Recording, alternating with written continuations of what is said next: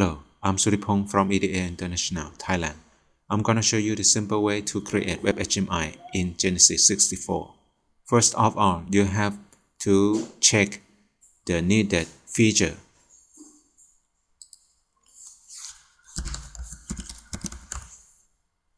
Open Turn Windows feature on or off.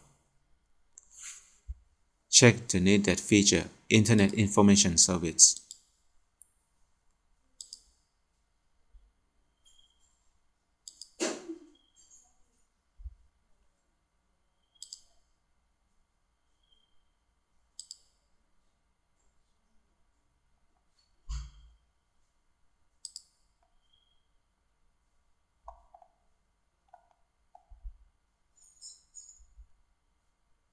And Microsoft.NET Framework.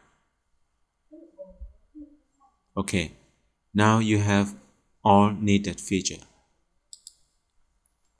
Check that you can open the default website by typing localhost and any class.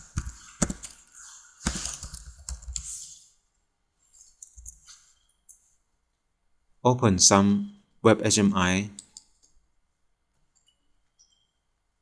Now it is okay and ready. The simple way is create the GDFXP file and then put in the root directory.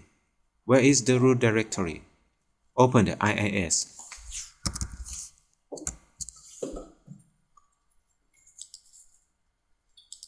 In default website and any class, right click on any class and explore.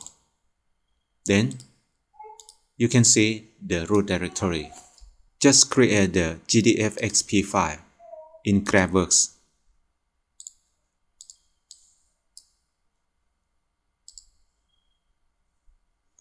In this video, I will choose some OPC tag.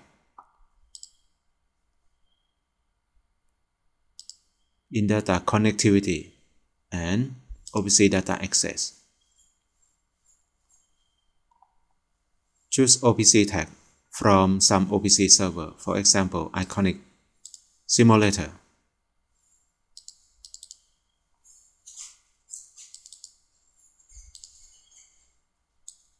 You can put some object as well. For example, I search for some gauge.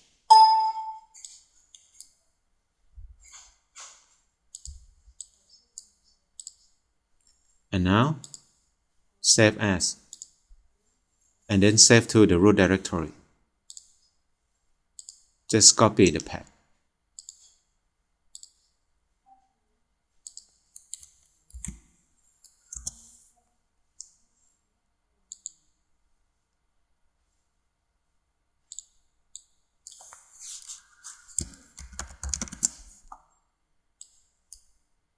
Save in GDF XP and click Save.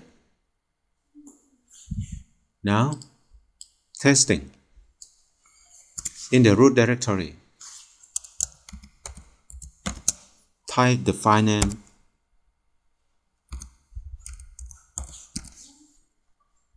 and then hit enter. That is the simple way to create a WebHMI page. You can use this URL Changing localhost to IP address, people can connect to your site via the internet or Ethernet.